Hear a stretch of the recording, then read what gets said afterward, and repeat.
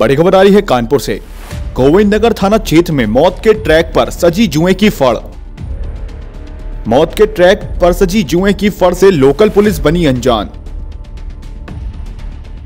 गोविंद नगर थाना क्षेत्र में रेलवे ट्रैक पर बैठकर खुलेआम खेला जा रहा है जुआ। वायरल वीडियो में दर्जनों की संख्या में दिख रहे जुआरी।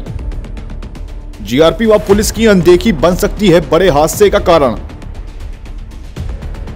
शहर में पोस्टिंग होने के बाद से सटोरियों और जुआरियों पर सिकंजा कसने वाले एसपी साउथ दीपक भूकर के अभियान की इस साख पर बट्टा लगाने का काम कर रही है स्थानीय पुलिस। गोविंद नगर थाना क्षेत्र के दादा नगर रेलवे ट्रैक का बताया जा रहा है वायरल वीडियो। बता दें, अभी हाल ही में जूही थाना क्षेत्र में ही छत पर सजी फड़ में जुआ खेलते दिखे थे जुआरी।